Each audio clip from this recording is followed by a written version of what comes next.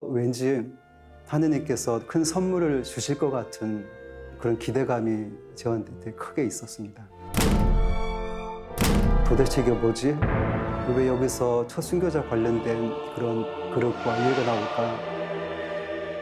유해가 발견되고 나서 우리 모두가 기뻐했지만 그 다음 과정은 진정성 확인을 위한 것이었습니다.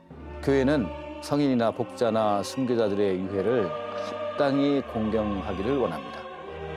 뼈는 거짓말을 하지 않는다.